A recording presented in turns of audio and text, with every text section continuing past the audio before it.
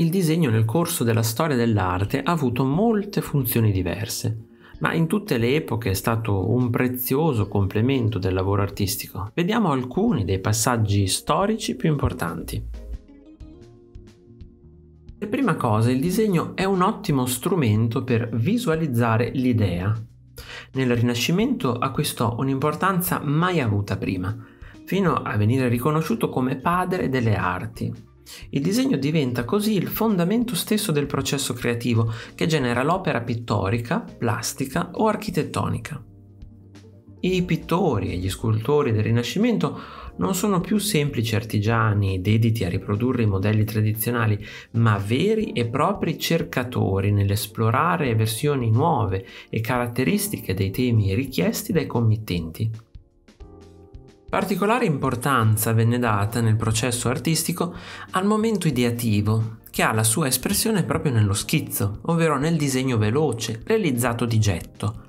Pochi segni essenziali, grazie ai quali l'artista dà forma alla prima idea dell'opera. Attraverso due piccoli schizzi realizzati sul bordo superiore di un foglio risalente al 1508 circa, Raffaello fissò, per esempio, l'immagine l'idea iniziale della Madonna della seggiola.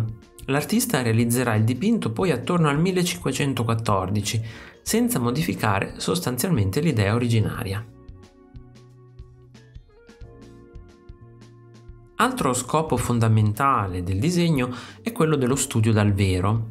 Le opere più complesse e alla ricerca di una rappresentazione il più possibile fedele della realtà non possono fare a meno di accurati disegni preparatori. Da questo punto di vista i disegni sono finalizzati innanzitutto a studiare nei dettagli la forma dei vari elementi da inserire nella composizione. Per questo motivo il disegno dal vero, cioè il disegno basato sull'osservazione diretta dell'oggetto da rappresentare, acquista importanza. Che si tratti di una pianta, di un animale, di un personaggio, di un ambiente naturale o di uno sfondo architettonico, tutto può essere fissato con un disegno dal vero.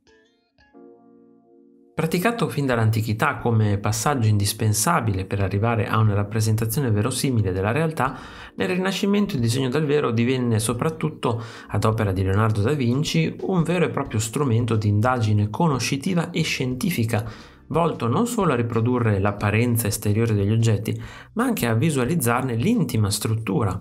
I numerosi studi anatomici di Leonardo rappresentano l'esempio più eloquente di questo modo di intendere il disegno.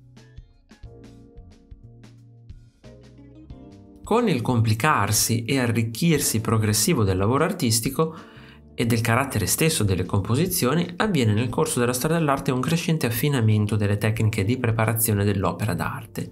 Lo si nota dai supporti, ai materiali, alla strutturazione dell'opera d'arte stessa. In quest'ottica il disegno diventa molto importante per l'esecuzione dell'opera definitiva. Dallo schizzo finale, attraverso lo studio degli oggetti, dei personaggi e dell'ambiente, l'artista giunge a un completo disegno esecutivo, necessario per passare dalla fase ideativa alla vera e propria realizzazione.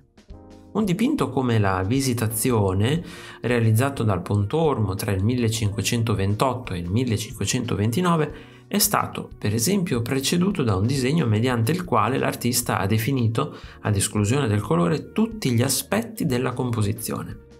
I valori di luce e ombra, la posizione dei gruppi, i gesti e le espressioni dei personaggi. Per trasferire l'immagine sulla tavola l'artista ha anche fatto ricorso alla quadrettatura, che permette di ingrandire il disegno senza cambiare i rapporti proporzionali.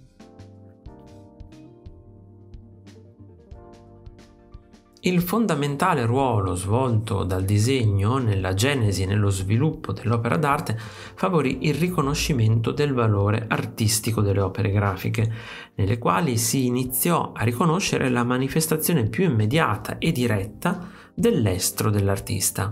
Se infatti nel Medioevo le opere grafiche erano viste esclusivamente come preziosi strumenti di lavoro privi di intrinseco valore artistico, con il passare dei secoli essi acquistarono un pregio sempre più grande.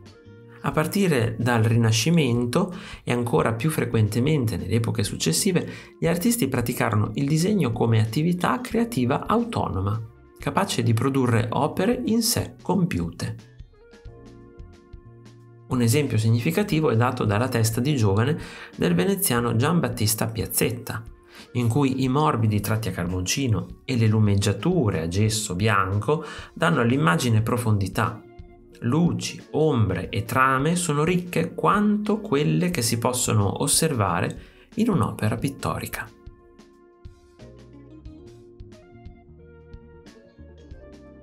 Se ti è piaciuto il video iscriviti al canale, lascia like e condividilo con i tuoi amici.